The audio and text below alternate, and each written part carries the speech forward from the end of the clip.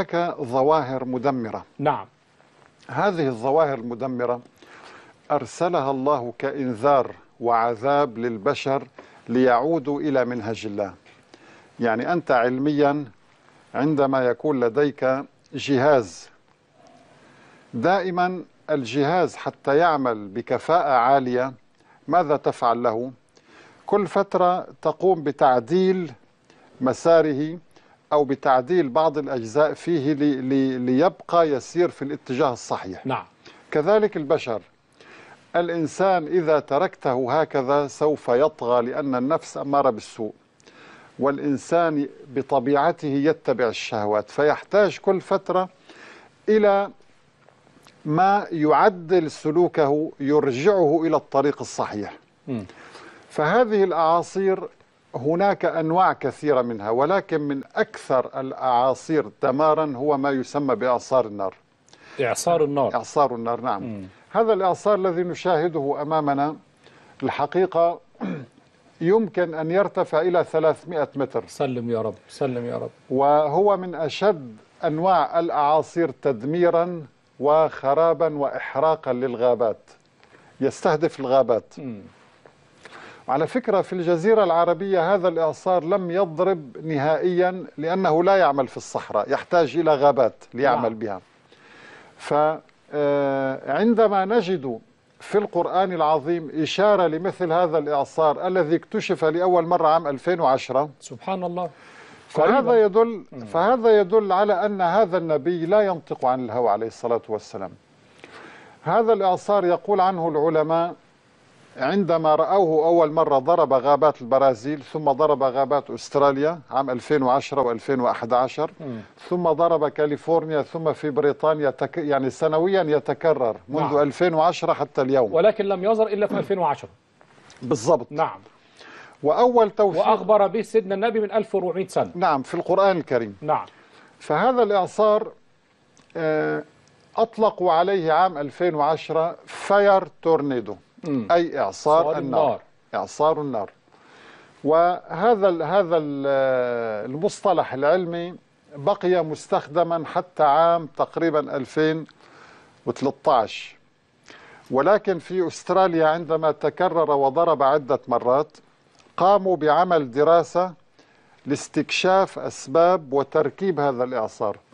فوجدوا حقيقة أنه لا يوجد شيء اسمه إعصار النار. وجدوا أن المصطلح العلمي غير دقيق. نعم.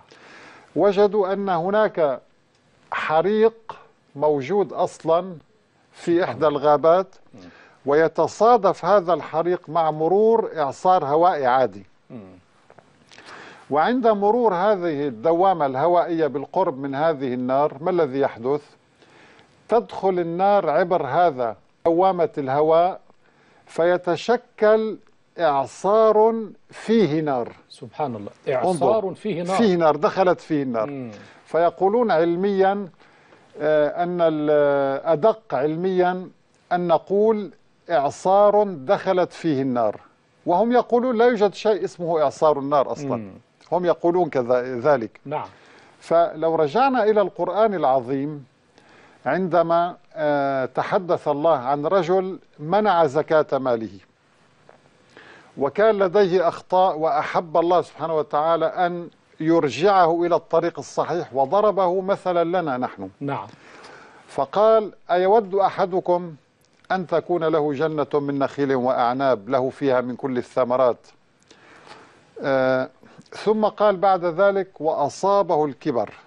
تجري من تحتها الأنهار وله فيها من كل الثمرات وأصابه الكبر. هذا الرجل الذي لديه جنة نعم. فيها ثمر ثمار فيها نخيل فيها أعناب فيها فواكه.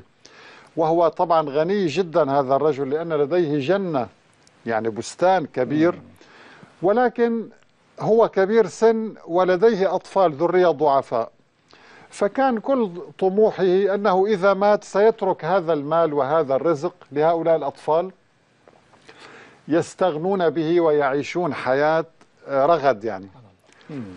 فيقول تعالى وأصابه الكبر وله ذرية ضعفاء فأصابها إعصار فيه نار نار فاحترق فاحترقت. مم.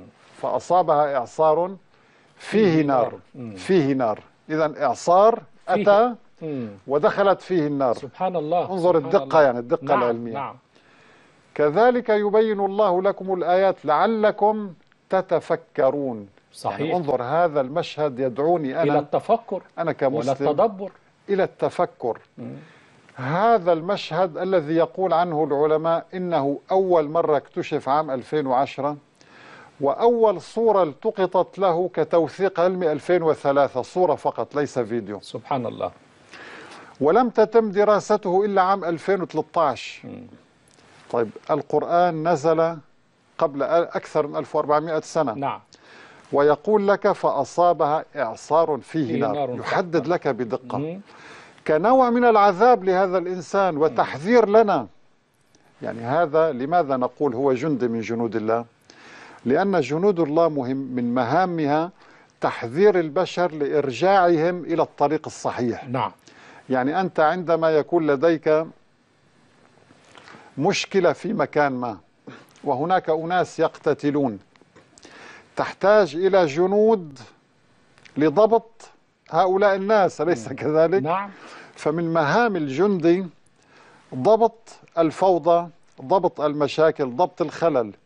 فأنت أيها الإنسان عندما يحدث لديك خلل في تطبيق هذا الدين الحنيف وعندما تبتعد عن منهج الله تبارك وتعالى يرسل لك الله هذا الجندي محبة بك وليس وليس الله يحقد على البشر كما يدعي الملحدون أو يريد أن ينتقم من البشر. يرسله ليصحح لك المسار وينذرك. هذه الآية أين وردت؟ في سورة البقرة. نعم. وردت كمثال يحذرني أنا كإنسان مؤمن يقول لي انظر لو كان لك هذه الجنة من النخيل والأعناب وفيها من كل الثمرات وال- والأنهار تجري من تحتها ثم جاء إعصار وضربها فاحترقت. على فكرة إعصار النار يضرب بسرعة هائلة يمكن أن يحرق. مثلا إذا كان لديك آه، مزرعة مساحتها 30 كيلومتر مربع يعني ضخمة جدا خلال خمس دقائق أو عشر دقائق يحرقها. سريع جدا يعني لديه سرعة في الإحراق وعنف شديد. فضرب الله لنا هذا المثل ليعطينا عبرة نتفكر بها. سبحان الله كأنه يريد أن يقول لك أيها الإنسان انتبه يوم القيامة قريب والحساب قريب فعدل سلوكك وارجع إلى الله سبحانه وتعالى. وإذا كنت مقصر فادفع زكاة مالك. إذا كنت لا تنفق أنفق في سبيل الله سبحانه وتعالى لأن هذا الرجل الذي كان لديه هذه الجنة وهذا البستان الكبير لم ينفعه ماله وكان لديه ذرية ضعفاء فكانت حسرة أنه شاهد هذا الإعصار يضرب هذه الجنة ويحرقها فأصابها إعصار فيه نار فاحترقت. فكذلك أنت لا تعرض نفسك لما تعرض له هذا الإنسان. فهذا تحذير من الله وبنفس الوقت إعجاز علمي يرد على أولئك المشككين يقول لهم أنتم تدعون أن القرآن كلام أساطير وكلام بشر. نعم. كما قال لي أحد الملحدين ذات مرة قال لي محمد عليه الصلاة والسلام آه، ذهب في, في رحلة في الغار ثم عاد وقال رأيت جبريل هل نصدقه؟ وأين الدليل؟ هل رآه أحد؟ لم نرى جبريل ولم نرى الوحي ولم نرى كذا. طيب هذه الآية أليست أليست حقيقة دامغة وواضحة أمامنا؟ تقول لك بأنه لا يمكن لبشر في زمن النبي عليه الصلاة والسلام يعني في القرن السابع الميلادي والنبي يعيش في صحراء يعني لا يمكن أن يرى مثل هذا المشهد أبدا. نعم. كيف تنبأ النبي عليه الصلاة والسلام بأن هناك إعصار فيه نار وجاء بالمصطلح العلمي الدقيق الذي يقر به العلماء اليوم وحدد لك أن هذا الإعصار لا يعمل إلا إذا كان هناك بستان أو جنة. لم يقل إعصار فيه نار فقط لا ربطه أيود أحدكم أن تكون له جنة أي بستان. فهذا يشهد على صدق القرآن وصدق رسالة الإسلام وهو تحذير لنا. عسى أن نعود إلى الله تبارك وتعالى.